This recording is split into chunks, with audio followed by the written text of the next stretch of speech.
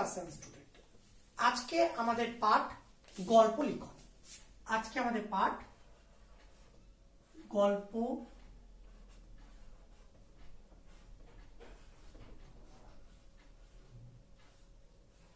লিখন। প্রথমে বলে রাখি, যারা রচনা অ্যাটেন্ড করবে বা রচনা লিখবে, তারা গল্প লেখার তাদের দরকার নেই। যারা রচনা অ্যাটেন্ড করবে না, তারাই শুধুমাত্র গল্প তাই লিখবে। তোমরা জানো যে তোমাদের আমরা দুটি টপিক সিলেবাসে দিয়েছি গল্পের ক্ষেত্রে, গল্প লিখনের ক্ষেত্রে। সেখান থেকে আমরা একটি টপিক পরীক্ষার কোশ্চেনে দেব এবং সেই টপিকটাই তোমাদের কিন্তু লিখতে হবে। অর্থাৎ গল্প লেখার ক্ষেত্রে কোনো কিন্তু অর থাকবে না মানে অপশন থাকবে না। গল্প লেখানে একটি টপিক দেওয়া হবে, সেইটি লিখতে হবে। এবার আমরা টপিকের ক্ষেত্রে আসি।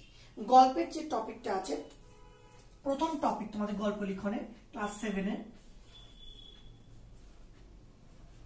চেষ্টার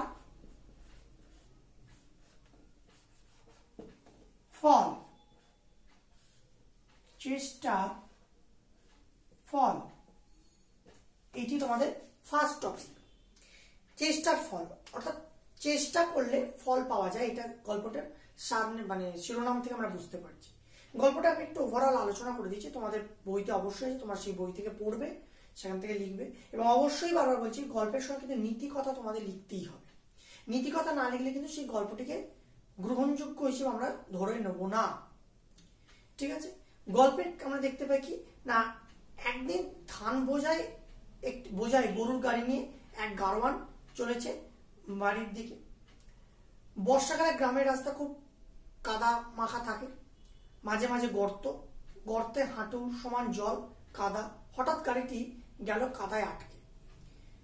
গরু দুটিও বেশ বলবান, কিন্তু তারা চেষ্টা করেও গাড়িটি টেনে তুলতে পারল না। গারোয়ান তখন গরু দুটি মারতে লাগল এবং মরিয়া হয়ে গরু দুটি গাড়িটিকে টেনে তোলার চেষ্টা করছে। তবু তারা পারছে না। কিন্তু এই সময় সেই পথ দিয়ে যাচ্ছিল একজন পথিক। ব্যাপার দেখে সে হতবাক হয়ে গেল। বলল, আরে করছ কি হে? গরু দুটি যে মরে যাবে? গারোয়ান বলল, না হলে যে গাড়ি উঠবে না। পথিক বলল, উঠবে। গরুগুলির সঙ্গে তুমিও চেষ্টা করো। কাদায় নেমে চাকায় কাঁধ লাগাও। গারোয়ান তার কথা শুনে নেমে গেল, হাঁটু সমান কাদায়। তারপর কাঁধ লাগালো চাকায়। প্রাণপণে কাঁধ দিয়ে চাকা ঠেলতে লাগল। দুটি বলবান গরুর টান আর গারোয়ানের শক্তির উপর ভর করে ধান বোঝাই গাড়ি উঠে এলো কাদা থেকে। তখন গারোয়ানের মুখে হাসি দেখে প্রতীক বলল, নিজে চেষ্টা না করলে কোনো কাজে সাফল্য আসে না। অর্থাৎ দেখা গেল কি? না, চেষ্টা করলেই আমরা কোনো কাজ যে কোনো কাজে সাফল্য পেতে পারি। আর চেষ্টা যদি আমরা না করি, তাহলে কোনো কাজে কিন্তু আমরা সাফল্য পাবো না। তাই নীতি কথা কি? চেষ্টা করলে কাজে সাফল্য আসবেই। অর্থাৎ এই গল্পটি থেকে আমরা কি বুঝলাম? যে চেষ্টার দ্বারাই যে কোনো কাজ সম্ভব। চেষ্টা না করলে কোনো কাজই সম্ভব হবে না। সেটি অসম্ভব হয়ে থেকে যাবে। এর পরের যদি আমরা পয়েন্ট দেখি, পরের যে গল্পটি তোমাদের আছে, দু নম্বর গল্প, সেটা হচ্ছে গাধার বোকামি।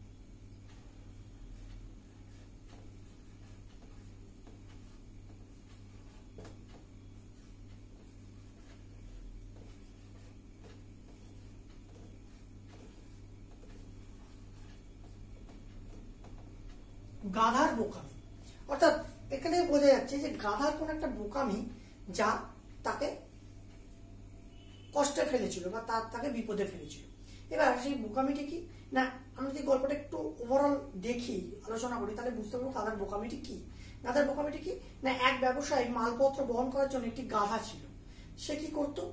সে গাধার পিঠে কোনোদিন নুনের বস্তা, কোনোদিন চিনির বস্তা, কোনোদিন অন্যান্য মালপত্রের বস্তা চাপিয়ে এক জায়গা থেকে আরেক জায়গায় বিক্রি করার জন্য নিয়ে যেত।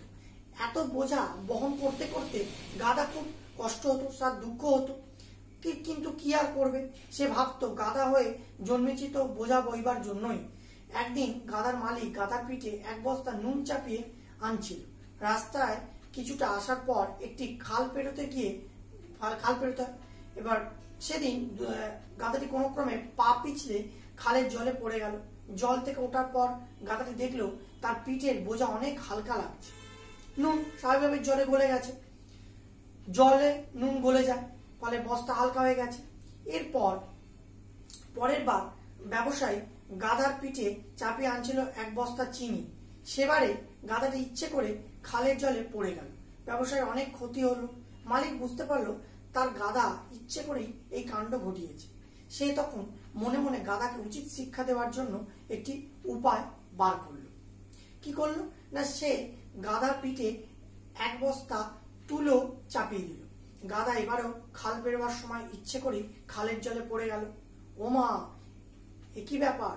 দেখা যায় এবারে গালের জল থেকে কোনো ক্রমে উঠে দেখে তার পিঠের বোঝা তো অনেক ভারী লাগছে। আসলে এবারে তুলো ভিজে গিয়ে অনেক বেশি ভারী হয়ে গেছে। ব্যবসায় মুচকি হাসলেও সে বুঝতে পারল তার গাধা আর এরকম বোকামি করবে না।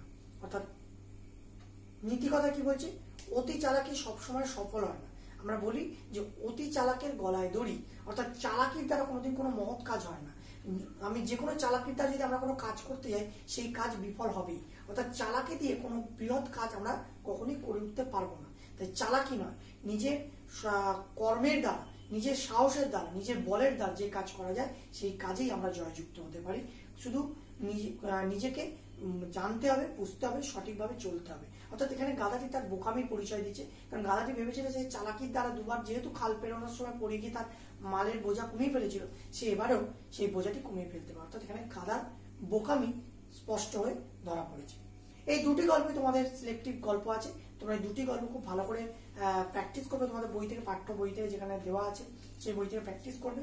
এবং ভালো করে লিখবে। অবশ্যই আবারও বলছি, গল্পের সঙ্গে কিন্তু নীতি কথা তোমাদের দিতে হবে। নাহলে কিন্তু নীতি কথা ছাড়া গল্পটি কোনো মানে থাকবে না বা গল্পটিকে আমরা গ্রহণযোগ্য হিসেবে ধরে নেব না।